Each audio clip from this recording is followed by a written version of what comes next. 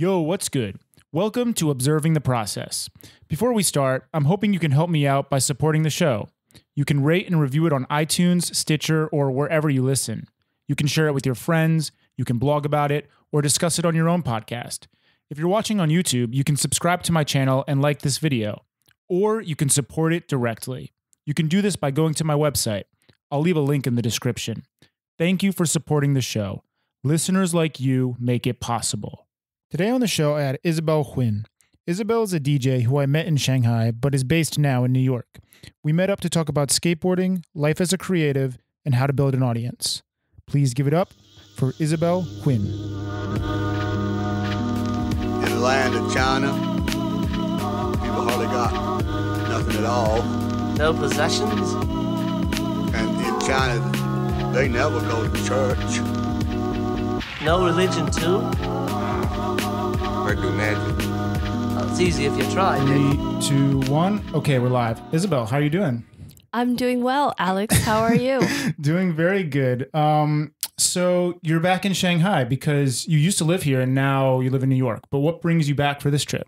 yeah, so I'm back in Shanghai because I decided to kind of do a mini tour for DJing. All right. Yeah, congrats. Like that's kind of picking up. It looks really cool that you it is, started to grow yeah. that. It was fun. So I planned to go to Korea and then originally it was just going to be Shanghai, Mm. but then it turned into a bunch of other cities like Guangzhou and then Foshan and then last weekend was Nanning and Mm. then Korea. So Sweet. So how did you like get into that? Is that something that you went out of your way to set up or did someone reach out to you or for the tour, for the tour? Yeah, specifically. Oh, like getting in touch with the venues and stuff like that. That's like an interesting process. The tour was like originally it was my aunt was getting married. She Oh, got really? married like 2 days ago. oh, congrats. And my whole family was like, We're gonna go to China. I was like, Word, then I'm gonna go to China for a month. Mm. And so then I planned to do it for a month and then just figure it out. But basically, through my connections of living here to a year ago when I lived here, Mm. I had connections from DJing here and they set me up with some stuff. Mm. Okay. That's really cool. So you just like reached out to venues and were like, "Can I get a set?" Or was It was more so through like a booking agent who Mm. usually will book artists from the US. interesting. Yeah. Interesting. All right. Well, that's awesome. I'm I'm super psyched to see you like touring and stuff like that. It, it's really cool. But before we jump into that, let's go a little bit further back. Like, where are you from? And yeah, where are you from? I'm I'm from San Diego. Mm. I went to college in Santa Barbara. Okay. And then after I graduated, I moved to Shanghai. I Mhm. moved I lived here for 2 years and then I Mhm. was in New York for a year. Awesome. In Santa Barbara, or is that where you said you just grew up? I went to college in Santa Sa- Barbara. but you I grew, grew, up in, up San, in San Diego. San yeah. Diego. Okay. So in San Diego, did you? Because I know you skateboard as well, and something Mm-hmm. I was interested is like, did you always skateboard, or did you get into it later in life, or what's the story behind that? I started skating when I was 18 and Okay. I had just graduated high school and I was at the Carmel Valley skate park in Mm. San Diego and my friend was doing a photo shoot and I just saw the people skating and I was like that looks awesome. Mm, So then I decided to just do it myself. cool, cool. And what was that like as a girl skater getting into the scene? Was there a lot? Because something eventually I want to talk about is, um, you know, meeting people in Shanghai versus the West Coast versus the East Coast. But in terms of getting started in skateboarding in uh, San Diego, what was that like? For I was you? so scared to go to skate parks in San like when I first started skating, I I was just a little closer to your mouth. I would get super scared. I would walk up to the park and I would literally be shaking, just being like, oh my God, people are going to see that I'm super bad.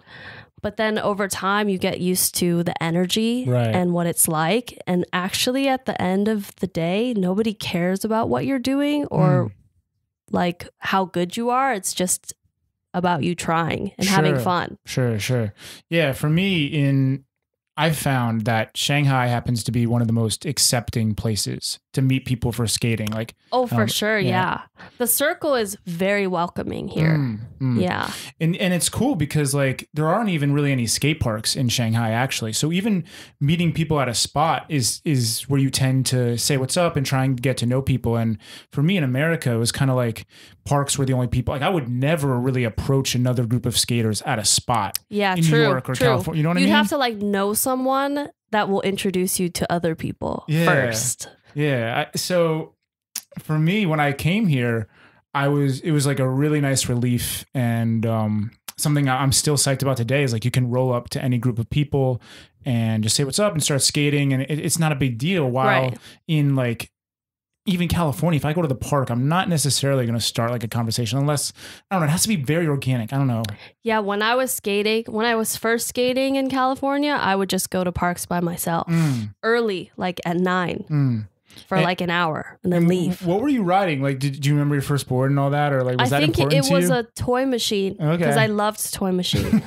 That's cool. Actually, that can kind of jump into the next thing is like the graphics on skateboards. And then also you've done graphic design. Is that what you studied at school or? no, I didn't. Mm. I didn't learn graphics work until I moved to Shanghai Mm, and I was working at an English school. okay. And then they needed someone to try to draw their textbooks because they manufacture their own. They make everything themselves. Hmm, So they wanted someone to draw the cartoons that go with the stories. Okay. And then I tried drawing one and they were like, yeah, this is good Mm. enough. and then I just, you know, kept doing it. Yeah, yeah. You know, it's funny. It's reminding me. We had a while back. I had this idea to make like a skateboarding cartoon book. I don't know if you remember me telling you this. Kind of. That Yeah. sounds really familiar. Yeah, so I told you about it, and I was thinking because I have this like, you know, I teach skateboarding lessons, and um, I was thinking it'd be kind of cool and like just to make it more fun for the kids to learn and something to take home. They could have like a cartoon book, like a little story of like, but you know who already did it? Like Henry Jones. I don't know if you know that uh, uh, cartoonist, that animator. Um, yeah, he already did one with like Carl Watson with another skaters. You should definitely From check that out.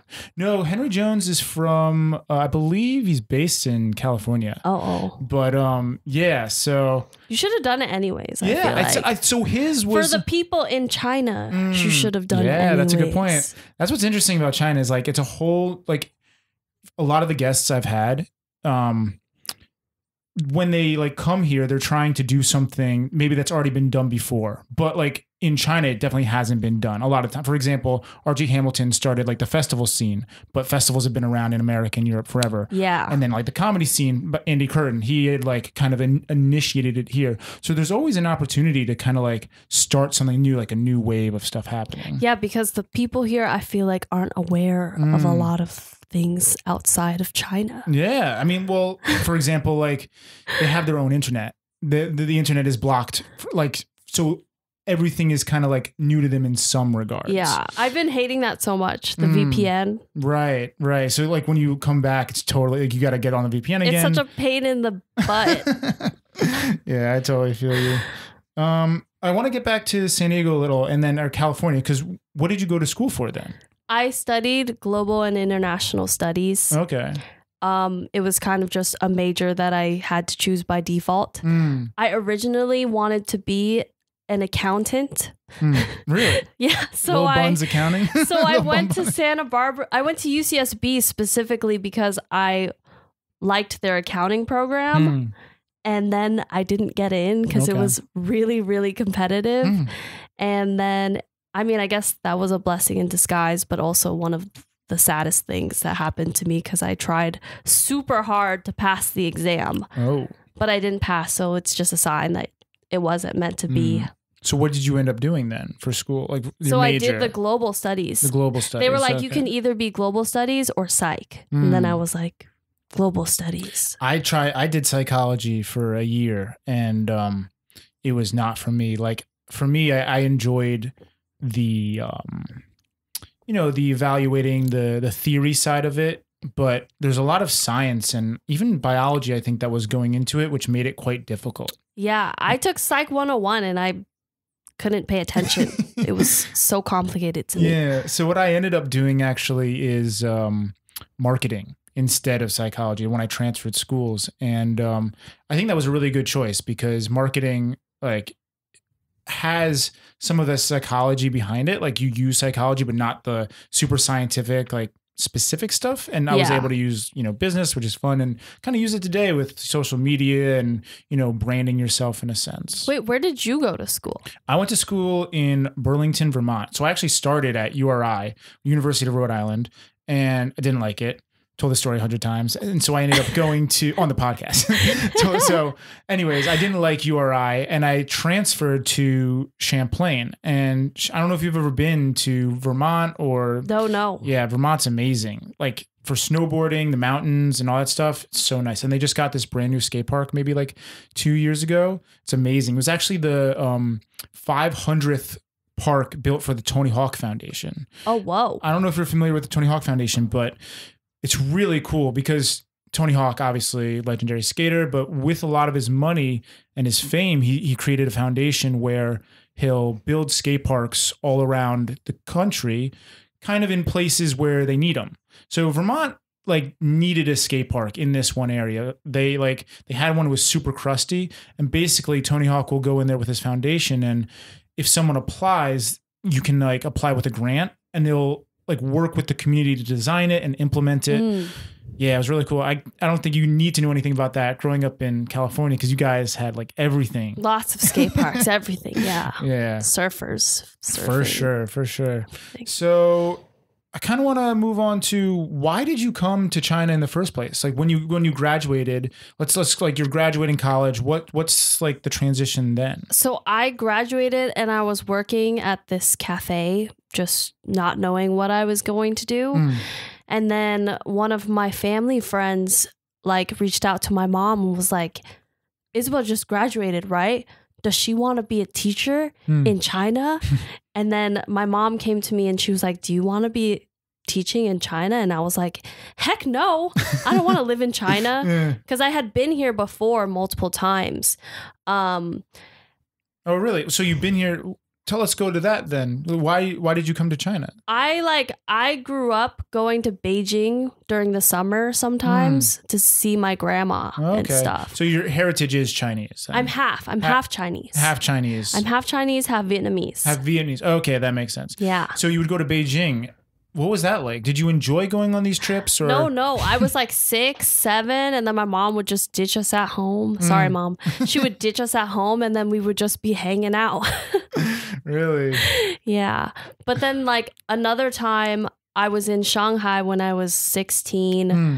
doing an externship, like, Externship. that, which is like an out of country internship. Oh, okay. I get it. And I did it at this exact company that I started working for. Oh. So I kind of knew what I was going to get into. That's why I was like, no, I'm okay. right, right, right. But then I thought about it after five days and was at my cafe job. And I was just like, maybe I should go. Mm, right, right. Because for me, um, I remember I was like about to graduate and I didn't know what I was gonna do. Mhm. So you had already graduated though, right? You Yeah. yeah. So for me, I I was like about to graduate and like not in panic mode, but like I want to figure this out like before. So that's funny that you have like somewhat of like directly after college, basically you're going there. And Yeah. so did you say like you were going to Beijing, but this job happened to be in Shanghai? yes. So did you have any desire maybe to go? Had you been to Shanghai before that, or was it only going back to Beijing to visit like family? I had been here for the externship. The externship was in Shanghai. Oh, okay, okay, okay. I thought it was in yeah, Beijing. the same exact company.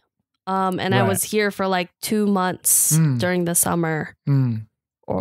W- If I think, yeah, two months. Did you meet the skaters then, or? No, I wasn't skating at that time. I was Oh. only like 16. Oh, okay. It was like too young to go out anywhere without it being weird, Mm. but then like old Yeah, yeah, enough yeah, to want to be going out. Okay, so sixteen to then like, how old are you when you're graduating college? Like in your mid early twenties, right? Yeah, like 21. Yeah, yeah, yeah. Okay. So there's like quite a gap then Yeah. between. Okay, that's interesting. So then now you're going back to Shanghai and you're skating at this point.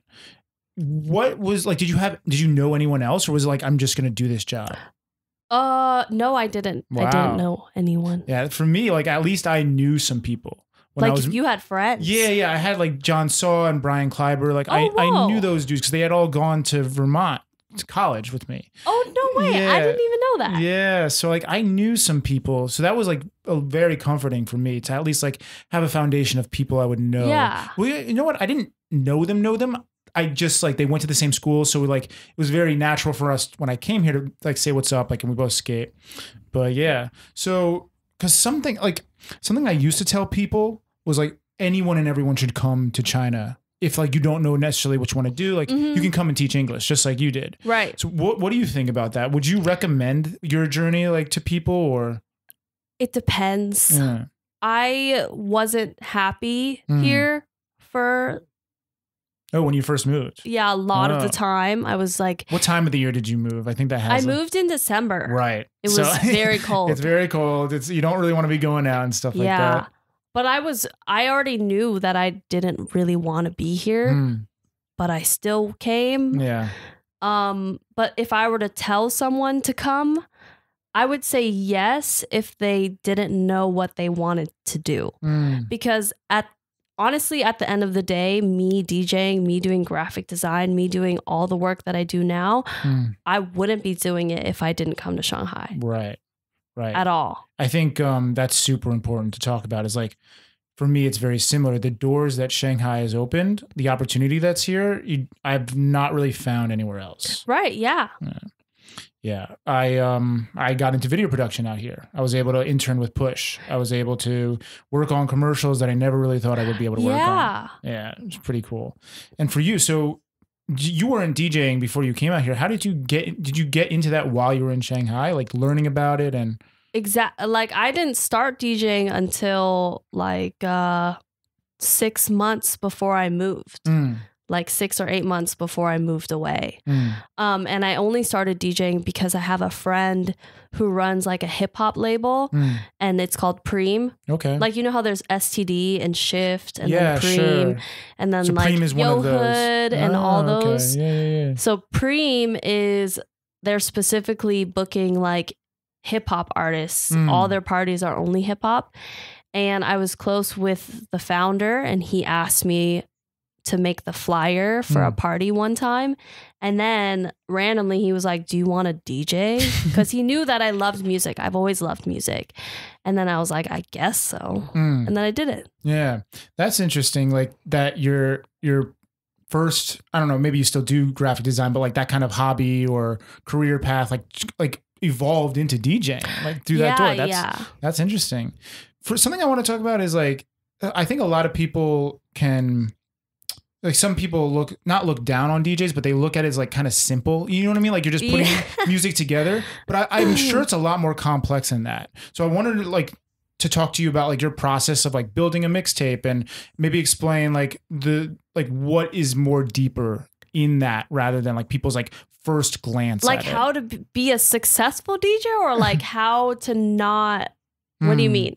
what I mean is like sometimes like it's it's some people look at it it's like oh you're just like pressing play Mhm. but it's not as simple as that I don't I, I would imagine it's not as simple as just pressing play and then the crowd goes wild so I'm, I'm wondering like your like thoughts like what's actually complicated about yeah it? yeah or, or, like what what is like My your struggles? process. Not, not I don't know about your struggles but like what you like about it like the process of like making like a like a DJ set. Because that's also very different from building beats. Building beats is truly like original thing Yeah. versus like a DJ set is kind of like stringing song after song. Is that right or? Yeah, yeah. okay okay. Yeah I just wanted to like kind of hear from you your process for how do you even like select which song will come after next? Or like is there technique to it or you know what I mean Well, it it really depends on the event that I'm Mm. DJing. okay Um, I do a radio show, and for the radio shows, I just play underground, which is all the stuff that I personally like Mhm.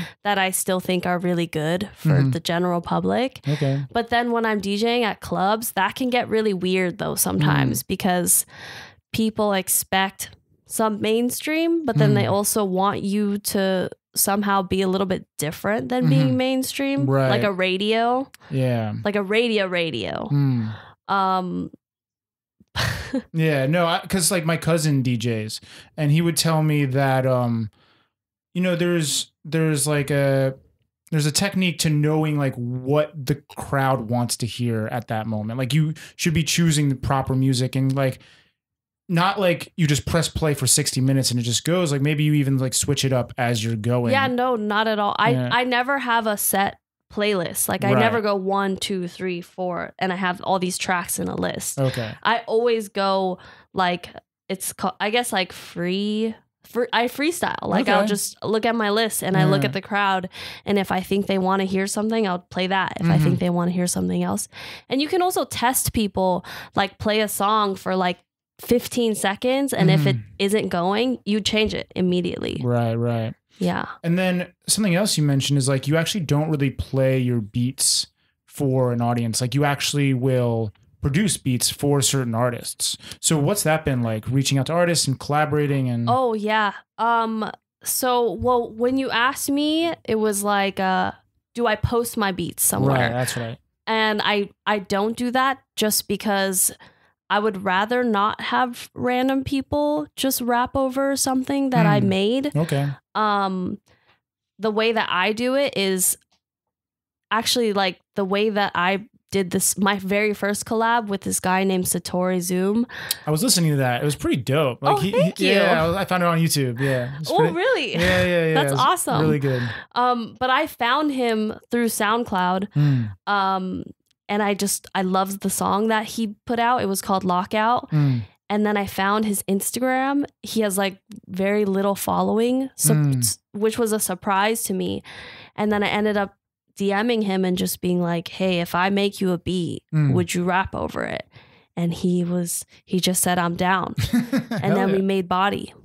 That's what's up. I think Instagram and social media is such an amazing new tool for people to use. Like I used to be so like when in the early internet days, I wouldn't like reach out to random people and start random conversations. But now as I'm more comfortable with Instagram and you know, I have a bit of a following and people like to talk to me and it's it's just such a cool place and like a different way to interact Yeah. with people now. The only thing that sucks is trying to do it in China Mm, because you have to do the VPN. right. And right. I've been using Astrill, and it's still even then it's still like a pain in the Do you butt. get on any Chinese social media or No, I tried use to it? use Weibo, but it was so confusing to me. Right. I me too. Exactly same It's thing. confusing, It's right? like ugly interface. I, I just like can't be bothered with it. But you know, Tang has had a ton of success working with uh, TikTok recently.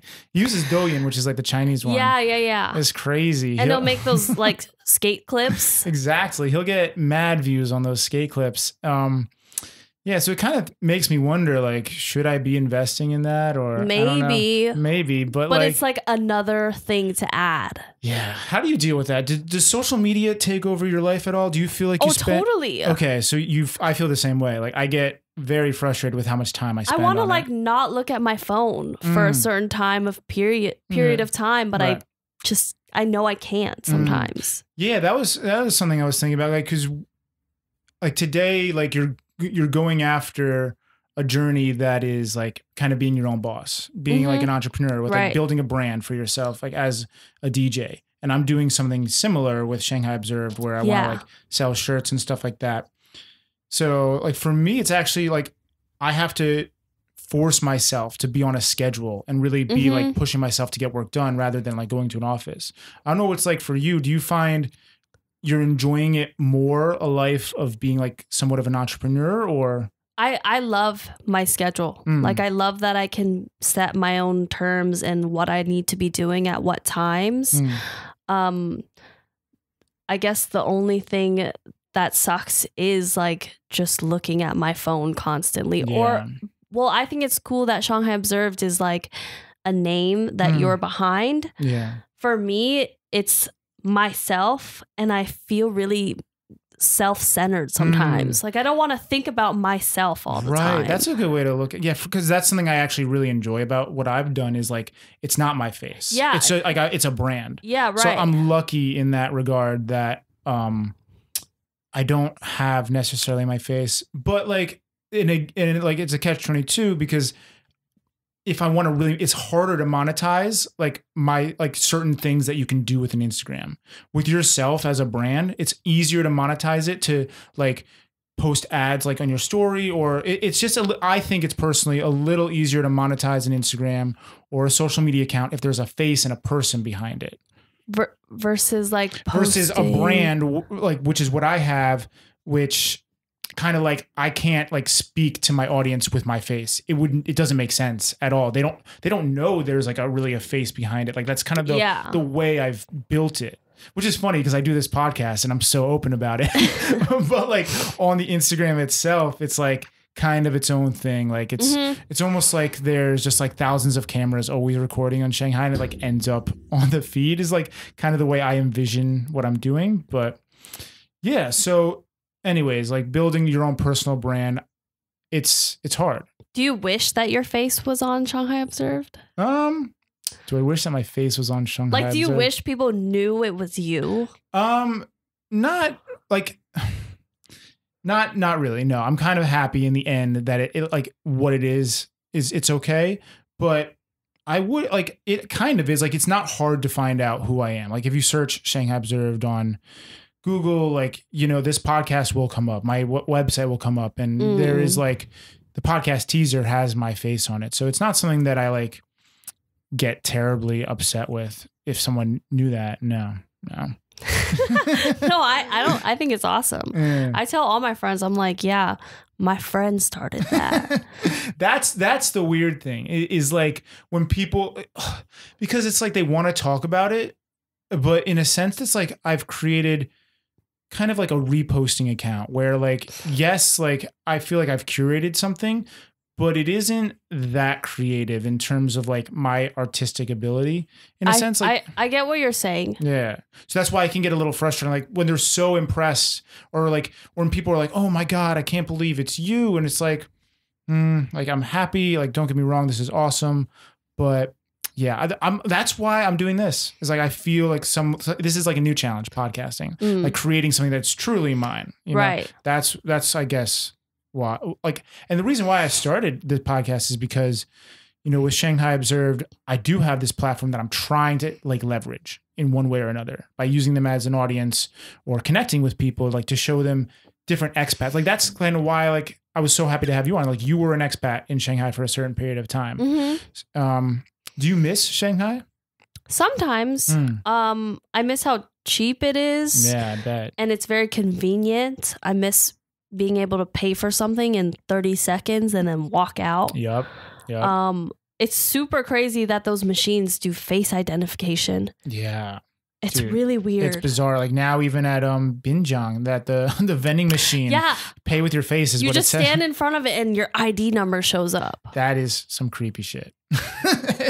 it was pretty wild. Um, all right, so that's what you miss. And what? Why did you end up leaving Shanghai?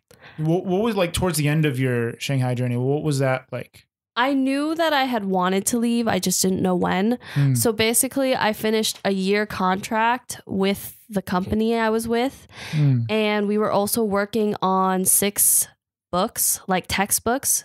So I had to make a bunch of different drawings Mm. every week. My deadline was, and so I decided after I finished that, then I would go back. Right, right. So it took me like a year and eight months, Hmm. and then at the end of that time, I had just left. right. Then, like, did you move directly to New York or? Uh, I went back to San Diego for a month, and then I went to New York. Hmm. But I always knew I wanted to go to New York. Right, right. So you just kind of like chilled out in San Diego, and then how Yeah. did you set up for New York? Did you kind of just like move there, like? It was like moving to Shanghai. I just Mm. had two check-in bags and a Right. carry-on. Sweet. And you didn't really know anyone either there or Oh no, I had two two friends that lived there. Cool, cool. That must make it quite a bit easier. It did. It made it a lot easier for sure. Yeah, so that's like kind of what I wanted to talk about making friends in New York versus making friends in Shanghai. What do you how do you like what's the nightlife scene there? Cuz I I'm from New York, but I actually never lived in Manhattan as an adult. Oh, okay. So I'm I'm actually curious myself because like I know it's so expensive. Um and I feel like there's like definitely an energy that makes it a little harder to meet people. Like, you know, there's like a stereotypical New Yorker attitude. Oh, so, for So sure. what's your experience been like? For me, it's a little bit different just because I work in nightlife Mm. and I like it's by default I will meet new people Right. every day pretty much. Mm. Um as a general person Mm. going out, I could see it being harder just Right. because when you go to a bar, you just hang out with your friends. Mm, And there's no not really a point in talking to anyone else. I I could understand that. Um, so I could see it being hard compared to Shanghai. Shanghai is way easier to make friends though, Mm. because especially if you're a foreigner, you can just like turn to the person next to you and be like, "Yeah, what that guy say? I don't know." yeah, yeah, I know what you mean. And also, I was talking to someone else recently. Like, there's a the expat community. I I didn't realize like I was taking it for granted, and I feel like it's a very strong community, more so than I realized. Like, it's easy for me to reach out to like people on WeChat here, just because like you know you're a foreigner living here it, it, it like you're more comfortable asking someone for help if i was in new york i don't think i would be like asking people for help as much as i do because Yeah. number one i'm native like english speaker there number two though it's just like that expat community doesn't exist as much in new york yeah. do you is there an expat community in new york or do you like it's not like you would consider yourself in an expat community like everyone is just not really from new york Yeah. kind of I Yeah. don't I I don't really meet a lot of locals. Mm. I think Yeah. I, I don't know many, like, there's not that many people that are like born and raised in New York Mhm. City that you're going to meet from there. there, yeah. yeah. Far and few between. Yeah. Um, something else I was curious about is like when you're making music, do, do you have someone that you look up to, like certain artists that inspire you or When I'm making music, not, not, not only when you're making music, just in general, like artists that inspire you or I have like my favorite rappers. go yeah. for it. Let me know. Oh, um, my favorite rappers are Smokepurpp, Okay. Rob Banks, um, Suicide Boys, Mhm. and uh, this girl named Coi Leray. Okay.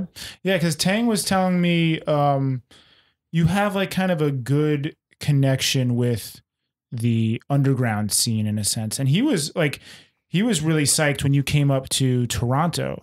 You did a show up there, right? Oh yeah, that was that was so funny.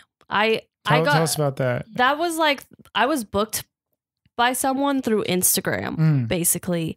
And then I told Johnny that I would be there, and he was like, Word, that's so awesome. Let's hang out. So then we hung out when I went up there, but that was really fun. And Mm. then we skated. Sure, sure. What was the first time that you got booked? Like, um, was that a like a big moment for you, or was it kind of like Where? just in booked for a show? Like someone like wanted to book you and pay you to. I mean, to I do guess it would have been in Shanghai at like Arkham or something. really. Um, it's it's really exciting, but I would only get booked once a month or so. Hmm. Yeah. hmm. Right. You just really gotta like pop around and really Mm. show that that's what you do, basically, or otherwise Yeah. people won't reach out to you. Hmm. Yeah, that makes sense. You gotta like kind of be your own boss. like Yeah. really pushing yourself to get out there and Yeah, which is why being on social media is really important, but also exhausting. mm, mm. and you mostly focus on just like hip hop beats, right? Yeah. Yeah. Something I was thinking about was um, hip hop in general. I was listening to um, there's an episode of Joe Rogan with RZA, you know, from Wu Tang Clan, hmm and he mentioned he was talking about just like they, they were joking around that like you know. Oh, like oh, I want Joe Rogan to spit like spit like sixteen. It means like spit like bars, like Yeah. a rhyme.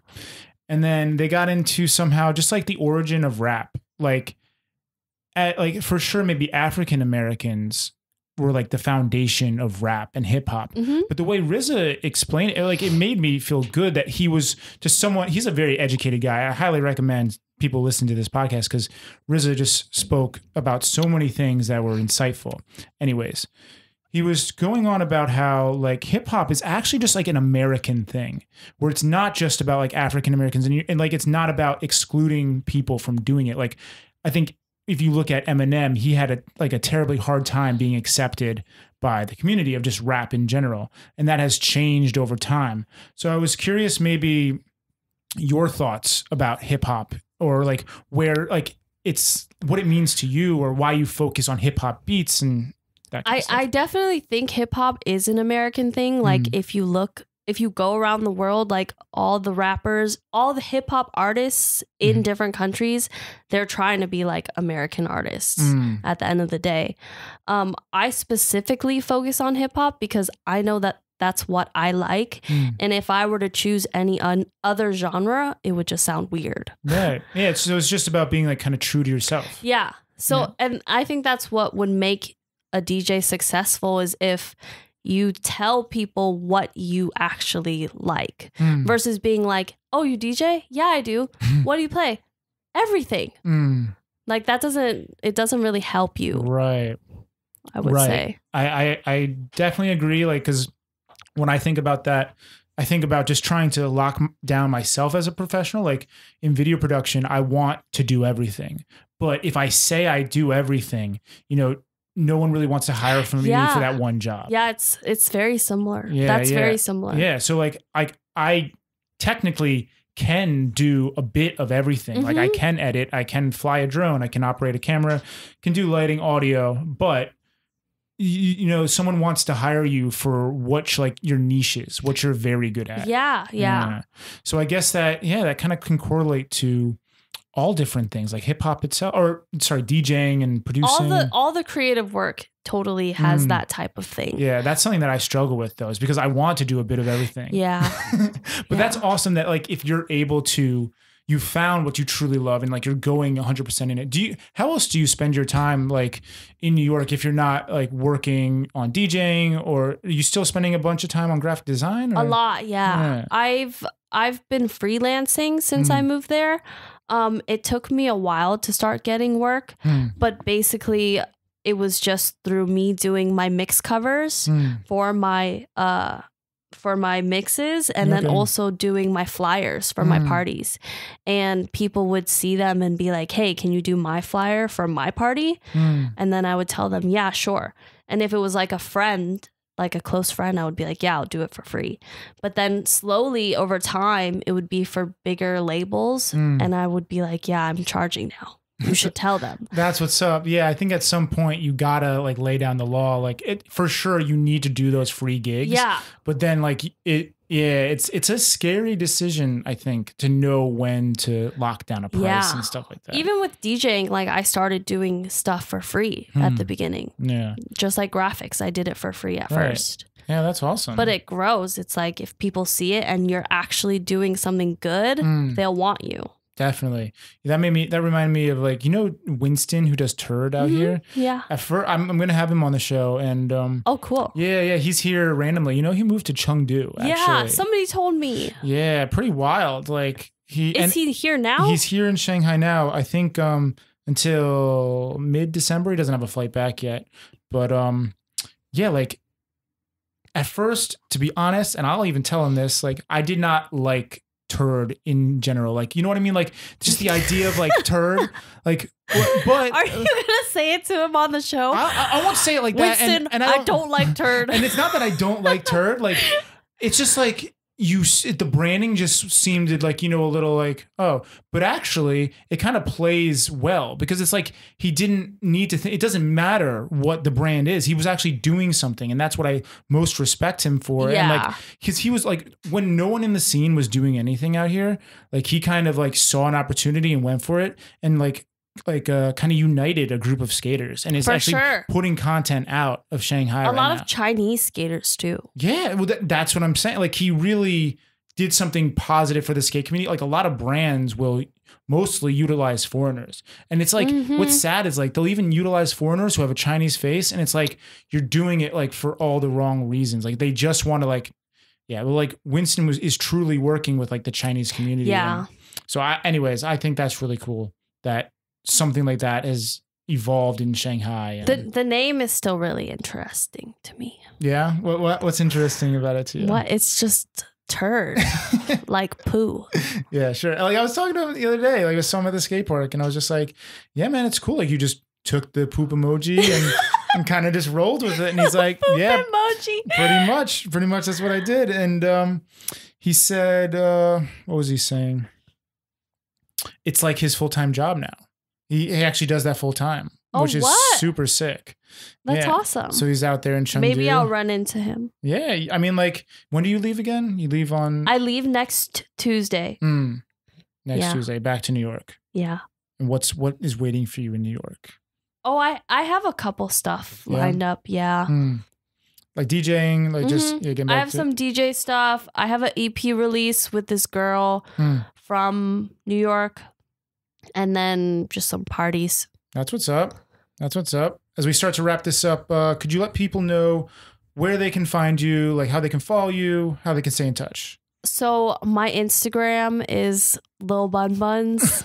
You know what? Before we wrap up, uh, what what is the story behind that? I mean, obviously you have these great little Bun buns. it's just my hair. Like that- that's honestly all it is. Did someone like give you that nickname, or you kind of just like, oh, this is no, kind no, of cool? I made it. Yeah. yeah, it was just a funny name, and then I did it. that's cool. but That's I get like I'll get weird comments from people about it. yeah. Yeah. Do you ever um, engage with these weird comments? No, on- not at all. I ignore them. But I also hate when I'm like walking out when I'm out in New York and Mm. people will be like, "Oh, little bun buns," and I'm just like, They'll recognize you. mhm. You've been recognized. I've been called out on the streets before, Oh, like from across the street. That's interesting. it was really weird. Like, Yeah.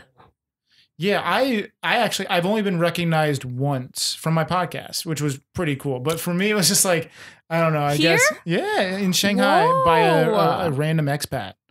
Yeah. that's awesome. yeah, but I guess you have like your trademark on your head, so it's a little easier to like Yeah. spot you. Yeah. Okay, okay. So Instagram, little bun buns. Instagram, SoundCloud, Spotify, Apple Music, uh, Twitter. I don't really use Twitter.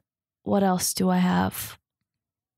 I saw you have Um, like a a Mixcloud or something. It's like a Mixcloud. Yeah, yeah. I thought I thought that was kind of. It's funny that there's like a Mixcloud and a SoundCloud. Is there a difference? I, I well, Oh, there's Mixcloud, totally a difference. Mixcloud is more of just like like hour long format or like a- Mixcloud can let you post whatever you want and they Mm. won't take it down. oh, But SoundCloud, they have more restrictions. Mm, Like if you repost, if you upload a Travis Scott song, they'll immediately take it down. well, the Mixcloud they, is pretty they have lawless. really good like copyright Oh. like s- agreements with I mean, yeah, that, that makes sense though because like as you get more popular, wouldn't you be pretty bummed if someone started like kind of make money off of the music in a that you good produced? way in a good way they have it Yeah. but in the bad way for me was like i would make remixes where i Mm. made my own beats but i used the vocals of songs i liked like Mm. 21 savage or like Smokepurpp Mm. and they would take it down because they can they can see the sound waves yeah, of yeah, the vocals It's smart enough to be able to find Yeah. that. Yeah.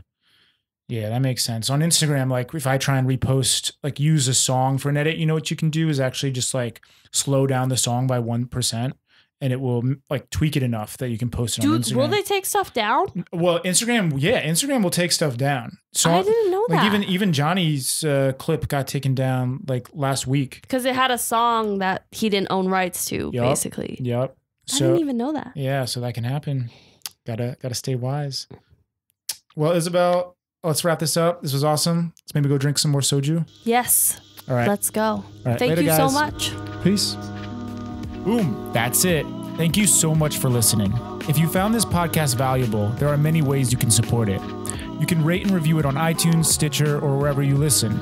You can share it with your friends, you can blog about it, or discuss it on your own podcast. If you're watching on YouTube, you can subscribe to this channel and like the video. Or you can support it directly. You can do this by going to my website. I'll leave a link in the description. Thank you for supporting the show. Listeners like you make it possible.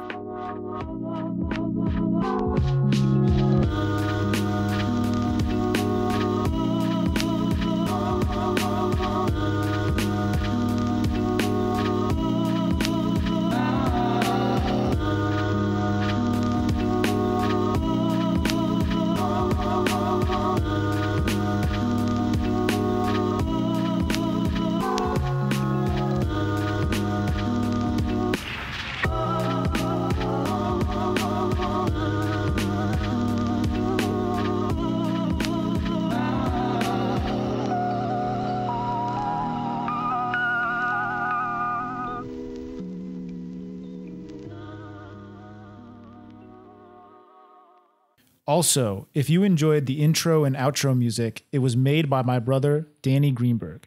You can go and check out his beats at soundcloud.com slash estoric. E S T O R I C. Okay, that's it for now. Peace.